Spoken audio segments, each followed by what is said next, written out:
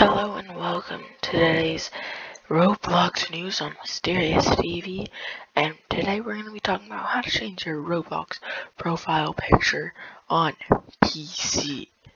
It's not that hard of a thing to do so I'm going to be telling you the steps on how to do it and then I will show you how to do it.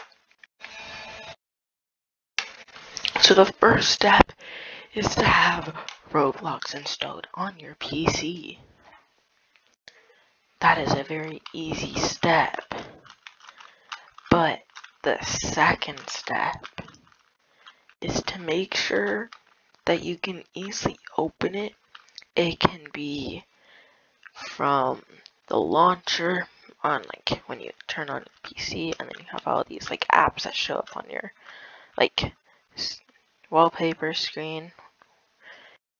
Um, you can do that, or you can go just hit Windows and then do that. There are other ways, like to just join a game from the website and then leave, hitting escape, L, enter, and it'll put you to the same launcher.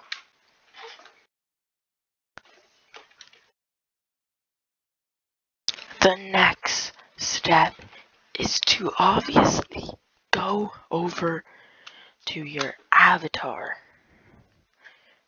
Now the avatar page is a little icon that shows your profile picture when you go onto the launcher. And well, then when you hit that icon, or I should say your profile picture, then you want to hit, um, I think it's profile picture editor. I don't know what it's called. I'll put it up on, on the screen somewhere. And then lastly, well, exact same way on how you would do it on mobile. You pick an emote and then you pick the angle, the zoom of how you want your profile picture to look. It's not really that hard. So let's go over to the other way on how to do this profile picture change on PC. Okay, wait, what? No, guys, me Okay, back.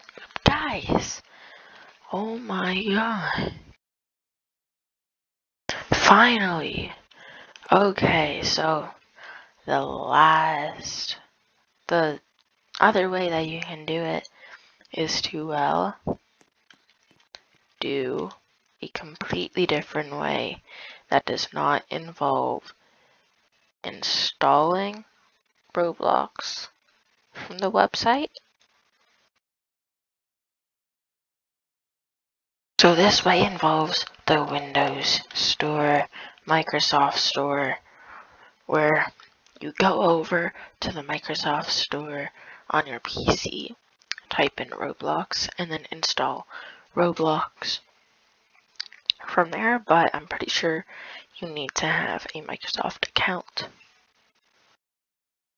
So like your Xbox account, or just anything Microsoft, I guess. And, well, you want to then type in Roblox. Now, once you open it, it'll ask you to log in or sign up like it normally would. And then you log in or sign up, whatever you have to do. I would do login.